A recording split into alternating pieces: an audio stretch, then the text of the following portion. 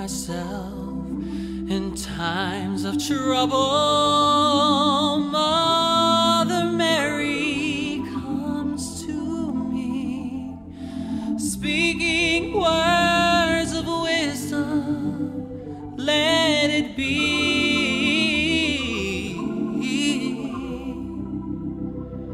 And in my hour of darkness, she is.